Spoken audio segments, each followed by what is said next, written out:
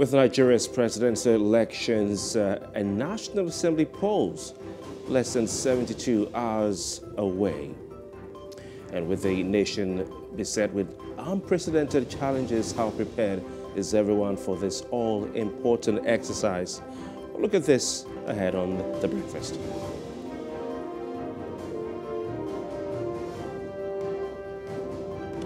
The Nigerian National Petroleum Company Limited, uh, NNPCL, has announced that it is committed to ending oil theft in the country.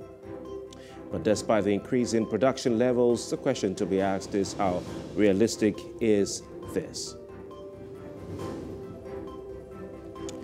And in Off the Press, we have uh, analysis of some of the headlines on the front pages of today's national dailies.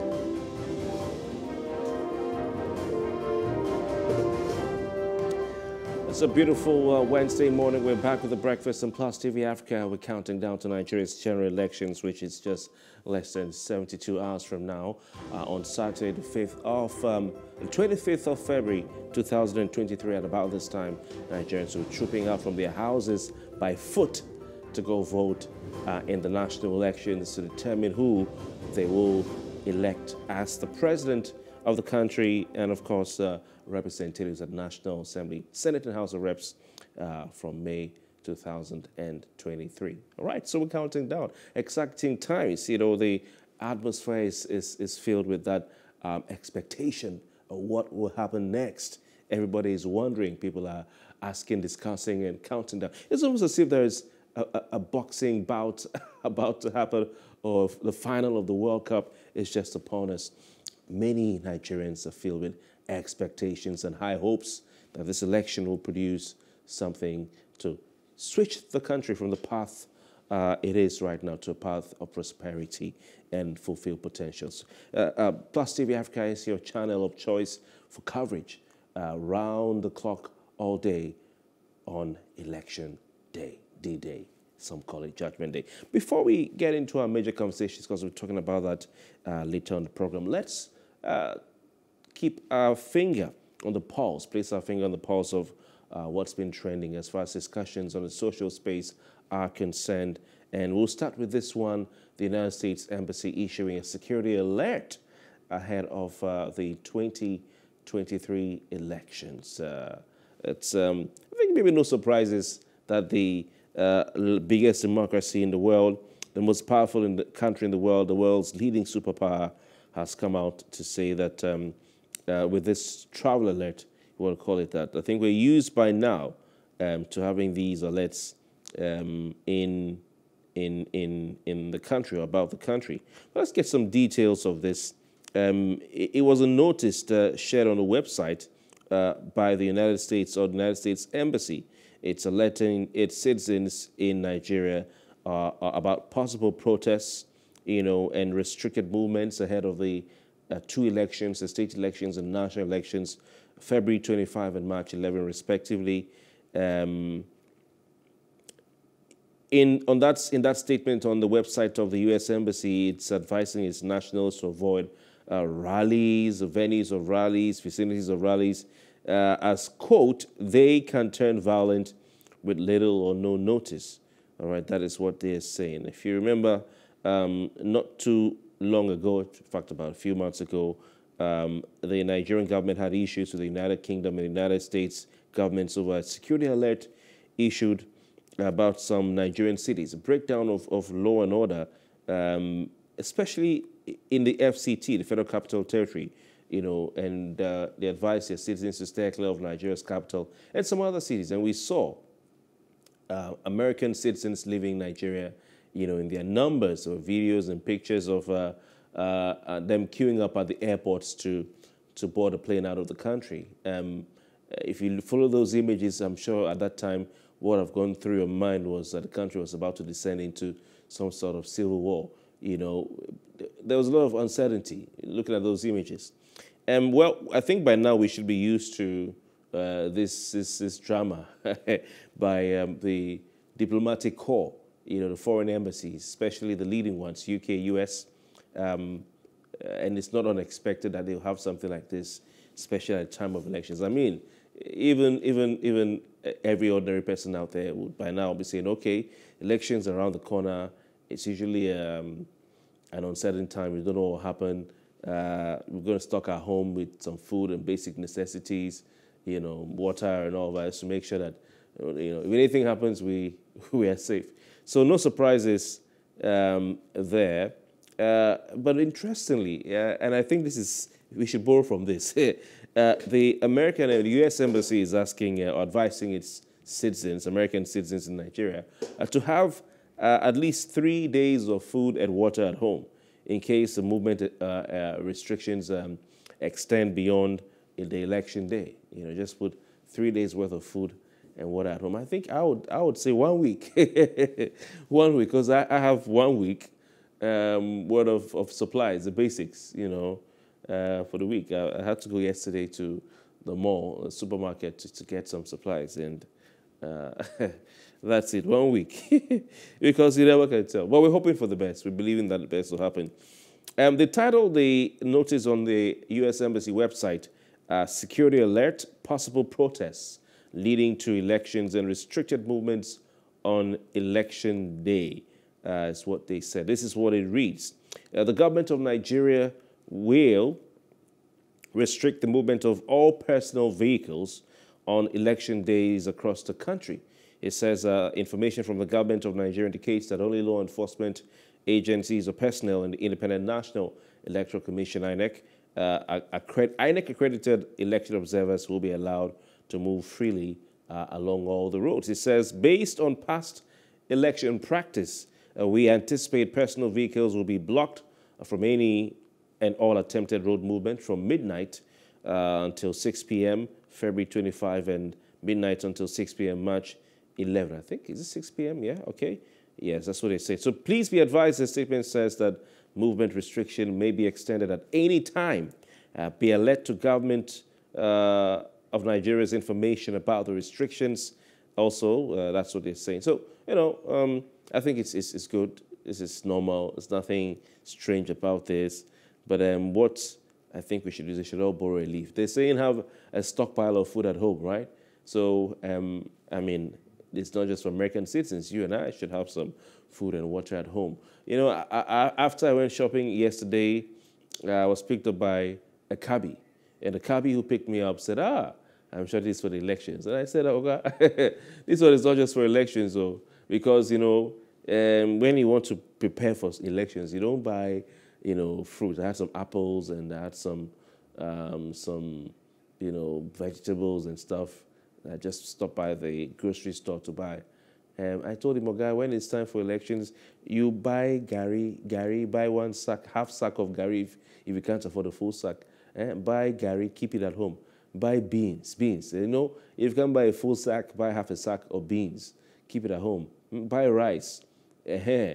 Those are the things you buy. Eba. you know, not uh, apples and vegetables, though. So as I was telling him, buy, buy Eba. garri, sorry keep at home. Nice one. Eh? so anything happens, you know, you know, I remember the lockdown and um, not the lockdown, but the EndSARS protests. I remember when uh, Nyesom Wike, governor of Rivers State, declared a curfew in a part of Rivers State called Oyigbo. Sorry, I talk about Rivers State a lot because it's close to my heart. You know, I, I lived there for many years. People couldn't, were not warned. They were not prepared. You know, because of the IPOB uh, related violence. You know, during the EndSARS or after the EndSARS protests um, people were, were went through hell because they couldn't leave their houses. You know, I won't go into details, you know, because it's, um, it's, it's, it's sensitive, okay? But people couldn't leave their homes, you know. There were soldiers everywhere. But I'm going to details because it's sensitive um, for now. You know, so, so people could leave their homes. And I had people calling my radio program then saying that they just need food, that they are dying, they need medicine, you know, they need, that's why a lot of people from Southeast, who are the dominant people who live in that part of Rivers State Igbo, are not um, supporters of uh, the Rivers State. They're not, they're not fans, you know. He, he's not popular. The Rivers State governor is not popular amongst people from the Southeast because what they went through when he declared uh, weeks of curfew, if not months, um, people went through hell. You know, that's why he used to be their, their guy, but they turned, you know. Anyway, Um, so you have to, I mean, you have to just prepare. If, if the prophecies we've received from uh, certain ministers, I saw the one of Paul Adefarasi yesterday. I saw one from one prophet Fei. That one, his own was really detailed though. he said um, there'll be an interim national government and all that. You know, there'll be chaos and there'll be fighting protests worse than EndSARS. I say, hey. so, I mean, I've seen another one from uh, one Iginla. I think Iginla is his name. And uh, one from Pastor Chris, uh, Chris Oyakhilome, Reverend Chris Oyakhilome, PhD. You know, so, um, well, it's just smart to, despite the, regardless of the, the prophecies by these men of God, um, ordinarily around election period, you prepare. Okay, so please be advised. Let's move on to the next one. Um, uh, but before that, I think I saw an advisory yesterday from, is it the US or UK? Um, advising its citizens in Nigeria to stay clear of ATM points. Yeah, yeah, yeah. They told him to stay clear of it. Look for other ways to get money apart from the auto teller machines because of what we're seeing unfold. It's really sad one. All right, let's go to another one. This is bizarre. You know, these are the kind of stories I like. I like these ones. These ones I really like. Them. They don't, these, are, these ones are interesting, okay? Um, Lagos conductor in Nigeria, those who um, assist the driver uh, of um, you know, public transportation taxis, you know, these taxis here, uh, or buses like we call them here, but they're all taxis, whether a bus or even a kind of taxi. Um, the guys who assist them to collect, they can see, you can see this guy, collect the money from the passengers to, you know, you know, open the door so the new passengers can enter and alight and all that. We call them conductor in, in, in Nigeria. And this guy was seen with a POS, a point of sale device, you know, with, with which he, I think he is collecting um, payment from, from his passengers. Since they don't have cash, you know, he has his POS. Well, Emefiele, your plan is working. I think we, we can just play the, the clip while we're talking. I don't know if we can play that clip. But if you have seen the videos online, uh, it's quite, quite interesting. You know, this is due to the Naira scarcity. I've never seen anything like this in my life. Look at him. All right, the video is, if, if you can see the clip, you know, he, he's actually agile, very, very, you know, he looks very comfortable with, uh, with that POS machine, you know. Imagine getting to a danfo, this yellow, the yellow bus taxis, we call them danfo, um, getting into one and then, you know, I think it's a selling point too. He, in the video, he was waving, he was waving his POS to show people, hey, you can come into this bus. You can come to this bus. We will we, we'll, we'll have other means to collect your money. I mean, if the churches and other places you have POS machines, uh, no one should be shy. You know, no one should be shy at all. Do we have, can we roll the tape? Okay. So, so, so um, I mean, it, it's, it's interesting, really. Very interesting indeed. Um, it's the selling point too. While other, other bus you know, conductors and drivers are, uh, you know, rejecting passengers, this guy's going to make a killing because he has to waive it. Say, CEO, I have a POS. Eh? You can come into my bus. No issues. Just bring your ATM. But how many ATM card? How many people out there have ATM cards. You know, uh, it's quite interesting. It's quite interesting. Um, of course, we know that the Naira scarcity has lingered around the country. Uh, the Central Bank of Nigeria says it's uh, implementing this Naira redesign and cash withdrawal policy um, for uh, monetary or macroeconomic reasons, you know, um, but people have been unable to access cash, you know. So you're taking your money to the bank so that the old naira doesn't get stuck at home, or you have money already in the bank, and then you can't get what you want out. You know, people have been queuing at, at ATM points around the country, have been going to the some banks are shut, and they can't get money. You know, it never heard of anything like this anywhere in the world, apart from maybe countries that are in economic chaos. You know, like Greece, you know, and other countries, Venezuela, people queue in in Lagos and other cities in Nigeria for money, and they are giving only 1,000, 1,000 naira, okay? Only 1,000 naira after hours of queuing, you know, at ATM points. It's, it's strange. It is bizarre. All right, so this, this um, guy, I think he was a conductor. He was playing Ketu Ojota Mile 12, and he was saying, saying, head saying, Ketu, Ketu Ojota, Ojota Mile 12, Mile 12. POS, Ketu Ojota, Ketu Ojota Mile 12, POS.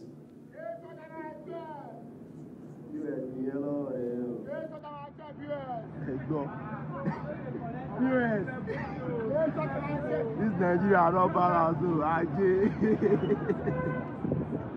Nigeria scatter scatter, everything jaga fi pè ẹ́ sí wọ mọ́tò. Nigeria ti tú.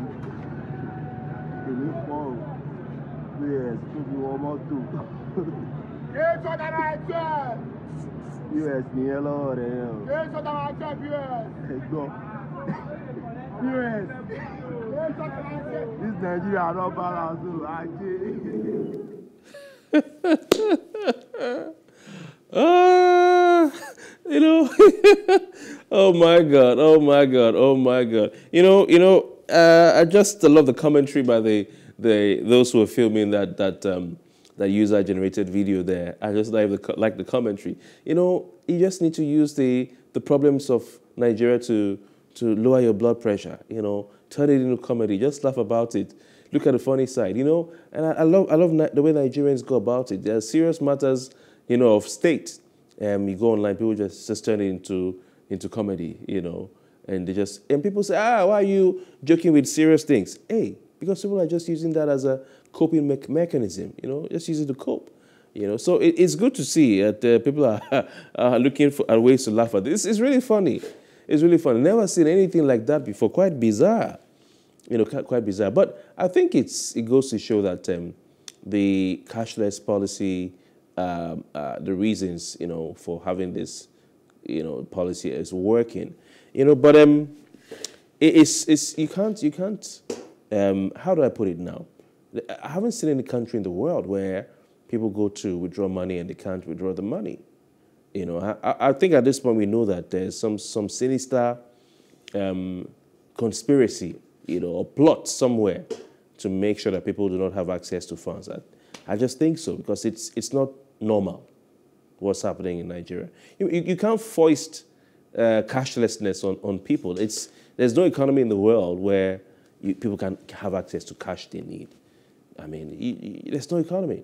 I don't know about it. I mean, of course, in China, uh, we see that people are uh, more, uh, you know, digital in their payments, and not just digital; they are contactless.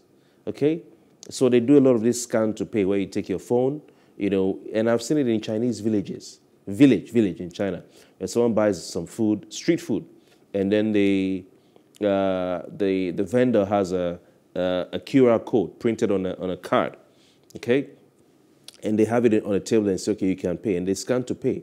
And the, one of the biggest, um, I mean, um, fintech company in China is Alipay. Alipay owned by Alibaba. Uh, only God knows where the owner of Alibaba is still now. But but so but the thing is, the, that's an advanced economy. You know, if you go to a village in China, you see a village. It's not what we think as village over here. They have Wi-Fi. they have Wi-Fi. Okay, the villages now in China are, are advanced. Okay, it's not the villages they used to have then because the government of China they've lifted millions of people out of poverty. So it's a miracle, really. It's what they say. You know, so um, uh, you, you you won't be surprised to see you have this this scan to pay. You know, and every almost everyone having smartphones. Okay, almost everyone in China has a smartphone. Uh, here, you know, owning a smartphone is not too cheap. It's not affordable for a lot of people. So they also have, you know, ordinary phones, what we call touchlight phones, you know, that are not on the internet. They're not smart. Okay? So because of that, you expect that people will have to use the POS. Otherwise, um, it would have been better to use a smartphone and then you can do the scan to pay. Know, the guy just says, oh, this is the card, just scan it and pay me, you know. But I think another thing that we should encourage these guys to do is to use the USSD code. Unfortunately, they are not, they've not been working in some banks. I mean, there's a particular bank, I won't mention their name. for, for months now, I've been complaining, you know, on Twitter that the, the app has not been working as it should. But since this um, plan began, you know, uh, policy began, they, they've gone from, from bad to worse, really. Even this morning, I tried to use the app, I couldn't use it. You know, yesterday, several times I tried to use the USSD code, I couldn't use it. But ordinarily, um, it would have been better for people to use the USSD code instead of carrying that heavy device around, you know. And also, um, this is a good time for the central bank to make another push to see if Nigerians will accept um, mobile money, yeah, banking and mobile money uh, services. You know, another push to see if Nigerians will accept that. Because initially and in previous times, it's not been really accepted. The penetration has been low. Um, people have not really gone for that. They favored the organic POS services as opposed to uh, mobile money. So this is not a bad time at all. Let, us move on to our next, uh, I think it's the last trending story. Uh, this is quite uh, uh, um, a sad one, really. And a gas plant exploded in a community in Delta State. I think this will be another opportunity for people to be reminded of um, the dangers of living around gas plants and also for um, the media to ask um, the NMDPRA, the Nigerian Midstream and Downstream Petroleum uh, Regulatory Agency, um, I mean, what, what their criteria is for approving gas plants in densely populated areas, you know, uh, in residential areas.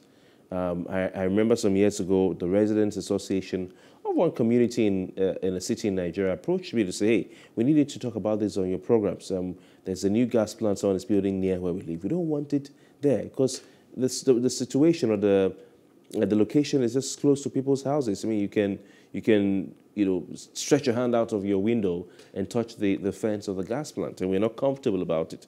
So these are questions that the NMDPRA will have to answer.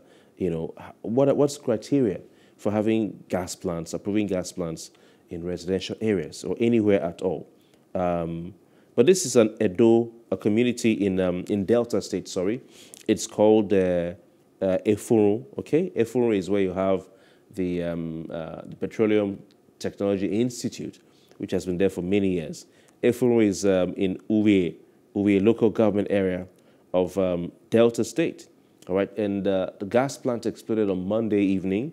Um, we hear it's uh, at a place called Nelmik Gas Plant. Nelmik Gas Plant, uh, opposite the Effurun post office, just after the Effurun uh, market. Effurun is just before you get into Warri in Delta State. Um, we don't know how many people have died or if there were casualties um, as a result of that gas plant explosion. explosion. We don't yet know uh, what caused the explosion. But um, residents, you know, were calling on Monday, were calling for help to contain the, the fire outbreak. You know, those plying the Effurun Sapele Road, you know, had to divert um, because of the situation. So it's quite sad. Um, this isn't the first time we're having something like this. Um, and whenever you have a gas plant explosion, it's usually very, very, um, very serious because gas is, is air, okay? It's air. So it's, it's, wind just blows it to anybody's house or any location close by, the fire will follow. You know, it's quite bizarre. I remember the gas plant explosion in the, in the Ghanaian capital, Accra, some years ago. Even the persons who were on a flyover, a distance from the gas plants, were, were, were blown away you know, by, by that explosion, and a lot of people died. So it, it's quite a sad one.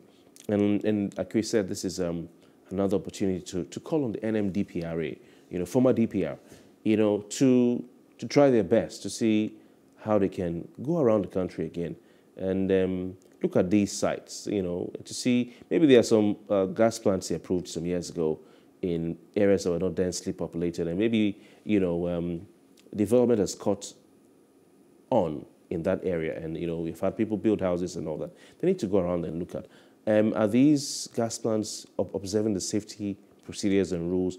You know, we need them to be on top of their game because when a life is lost, you can't, you can't have it back, all right? Uh, this is quite a sad one.